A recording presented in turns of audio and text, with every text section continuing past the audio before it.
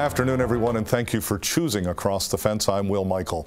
As always, on the fourth Wednesday of the month, it's time for our Bird Notes program, and we're joined, again, as always, by Mark LaBarr, conservation biologist for Audubon, Vermont.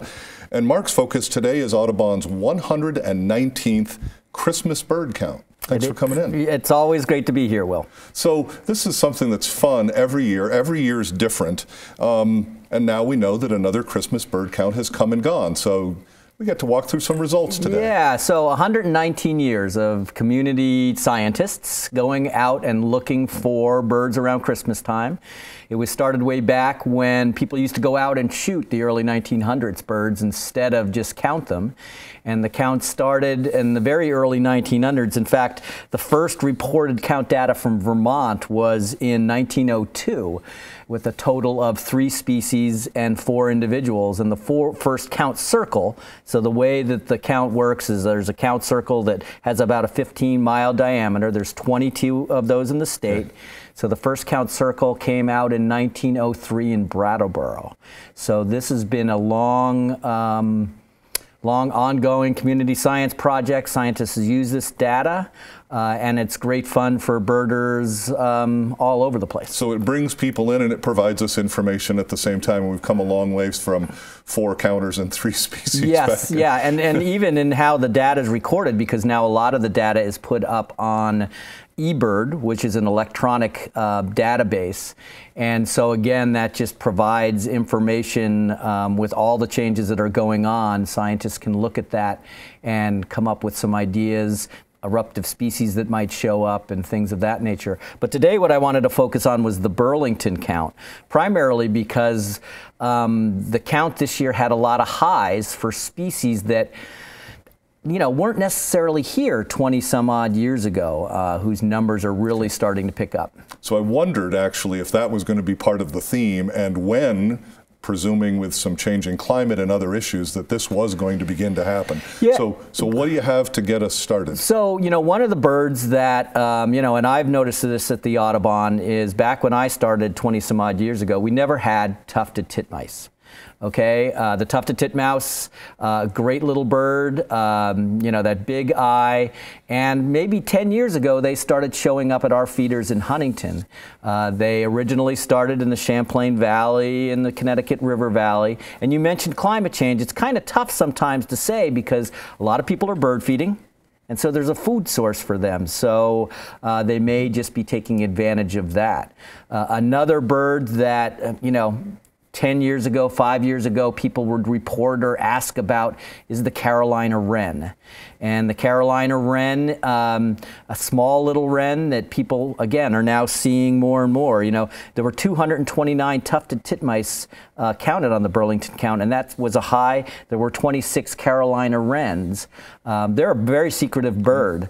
Uh, so again, uh, another bird that's, um, you know, presumably increasing, and people are seeing them in the summer times as well. And I was one of the people that actually, having access to you, I called you to say, what's this little thing? Again, going back to the very small, tiny tufted titmouse, right. which uh, again, I, I, shared with you, I thought it was maybe a couple of other things, yeah. and they're, they're very tiny. Yeah, and they've got that crest, which makes them look like they're, you know, there's a couple other birds, cardinals and waxwings that are out there that have that crest. But you also had a couple of birds come to your feeder. I did, and I want to thank Roger Lewis, our director, for getting that picture back up. But yeah, the story goes very quickly that um, I tried to take a picture for you through my cell phone. It wasn't working through the window, so I got out uh, a little camera at home with an autofocus, yeah. and the first thing I was able to do was run a little video. Yeah. So there's the little 10 second clip before my battery died, and so I said to you, hey, Mark, I've never seen this bird before. Yeah, so this is another bird that had an all-time high count on the Burlington count. So I'm not the only one. No, so this is the red-bellied woodpecker. Okay, that's what you told me. Now, gets more even more interesting. Yeah, so,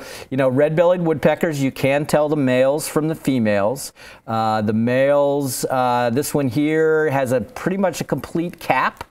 And so you can see that red cap. It's not called a red capped uh, woodpecker. We'll come to um, that in a um, sec. The female, on the other hand, has a um, you know, you can see that cap isn't all the way complete on this bird here. So, you know, you have two, a male and a female, well, that are there. That's what I noticed when I once I went and downloaded the pictures. I said, well, I have at least two different birds, yeah. but then you were the one that said what you have is a male and a female. Right, right, and it, you know, it could be a pair, could be just a male and a female come into your feeders. They'll often feed on suet, you know, they're a woodpecker. And uh, as you mentioned, you know, where's the red belly? That's what I wanted to know. Yeah. It, it, does seem to me, and I tease you about this, that it's not the only species. Red-bellied, wait a minute, that's a red-headed, but red-headed is a completely different woodpecker. It is, it is. So the red-bellied woodpecker will have a reddish blush to their bellies. And sometimes it's very visible and it's easy to see. Other times, um, you know, people don't necessarily pick up on it. So it can be a confusing bird. And you're right, the red-headed woodpecker is a completely um, different species. Well, I just have to say before we leave that, that was a really unique experience for me. Fabulous to see, but now you're telling me that it really wasn't that unique, that this is a species that you're seeing more and more of. Well, you know, people are, again, it's one of those things that we used to get calls in the office, you know, oh, I got my, you know, red-bellied woodpeckers at the feeder.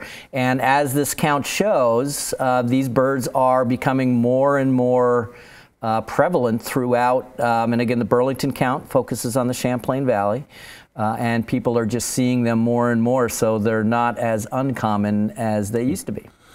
Uh, some other species that stick around during the winter? So, you know, another one that had a high count, um, 129 downy woodpeckers were seen. So that's a high count for the Burlington area count.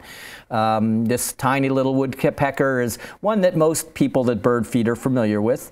Uh, and um, so for whatever reason, lots of people putting more feeders out. Um, you know, the Burlington area count picked up a, a high number for them. Uh, another woodpecker that actually came in pretty high too, with 31 birds, is the pileated woodpecker. Now, this is the opposite end of the downy woodpecker. This is our biggest woodpecker. And again, they're around in the, in the winter. People will see them. Um, and they just came in with more of them being seen this year than in any other year that the count's been held in the Burlington Circle. That's one I want to see. Yeah. I, I haven't. And if maybe now they're becoming more prevalent, maybe I will uh, because that red head is, stands I, right. I, I, guess I just imagine, especially in the winter, it's going to yeah. really stand out. And there's some question, you know, with the emerald ash borer that's coming in, and with the potential decline in ash trees, that woodpecker populations may actually increase because there's just uh, greater food sources out there from all of the dead trees that are suspected to be around as as the ash tree goes into decline. So.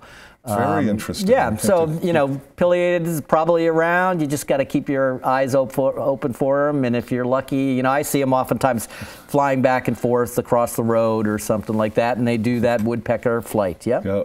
Now you had one more of the winter time. Yeah, and this is another, and I clumped this in with the woodpeckers. Uh, so there was a high count for the white-breasted nuthatch. Uh, they found 230 of these. Now this is a bird that comes to feeders, feeds on suet, feeds on seed, uh, but will also feed. Um, they call it the upside down bird because it tends to feed just in this position and it will feed in the nooks and crannies in tree barks looking for various different insects.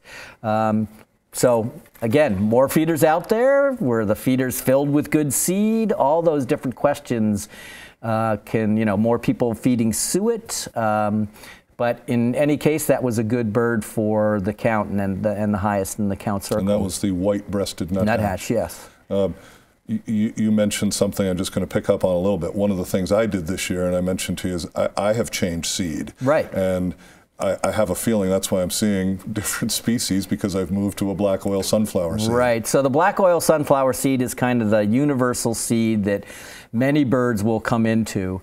Um, you can find seed out there that has millet and safflower oil, and sometimes that's um, sometimes cracked corn, and that'll work for specific species like cardinals. As you mentioned, your cardinals like to, you know, they'll often feed on the ground. Yep. But that black oil sunflower seed is really that's that's pretty much all we feed at the at the center.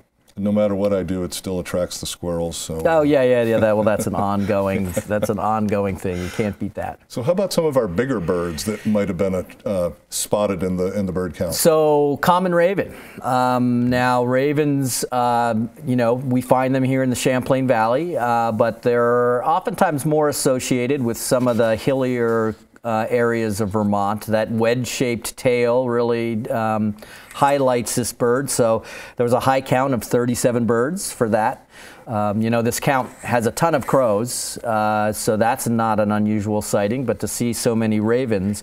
And then another bigger bird uh, is the Cooper's hawk and the Cooper's Hawk, they had 11 of those. These are a little bit tougher to find because uh, Cooper's Hawks often can be secretive. Uh, we'll get calls on the phone.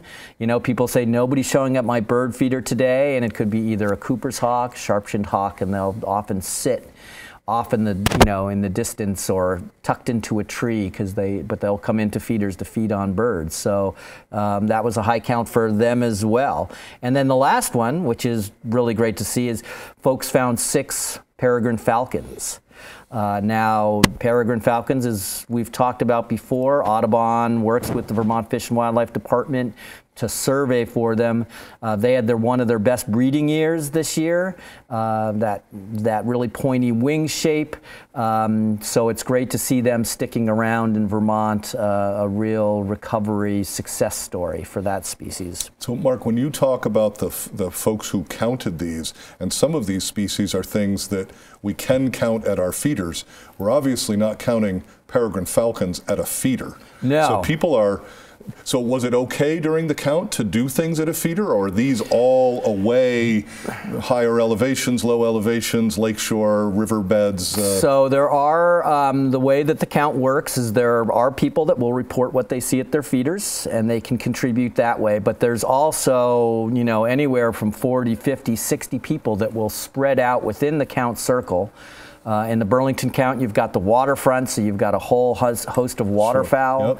Yep. Um, you've got a lot of fields, and so all those people, the, the circle gets broken down into individual yep. units, and groups are focused on that. So that's where the social aspect to the Christmas bird count Plus, comes it, it sounds like you're covering a lot of ground. You're yes. not just at feeders, but you're no. also not just in, uh, you know, the middle of nowhere. Right, right, yeah. right. Yeah. So, and you know, I, have done the Burlington count before. Sometimes you're picking up things like pine grosbeaks in uh, industrial parks. They're feeding on the crab apples. Other times, you know, Dr. Al Strong at UVM, who's been on the show before, has trucked out all the way out to Delta Park to find winter wrens out there. So.